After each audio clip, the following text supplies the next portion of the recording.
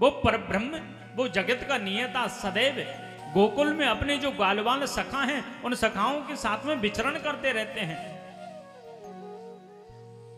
और गोविंद की उन लीलाओं पर ब्रह्मा आदि कभी भी मोहित हो गए, ऐसी दिव्य और पावन लीलाएँ हैं।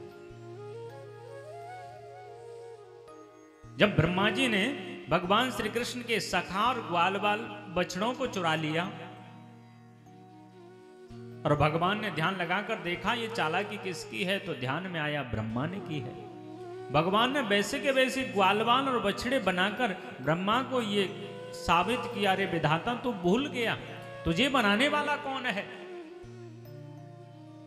प्रत्येक कण कण में, प्रत्येक जीव में मेरा निवास है, मेरा वास है। सर्वम विष्णुमयम जगत। अभी सब्सक्राइब करें हमारे YouTube चैनल ईश्वर टीवी को और देखिए वीडियोस सबसे पहले।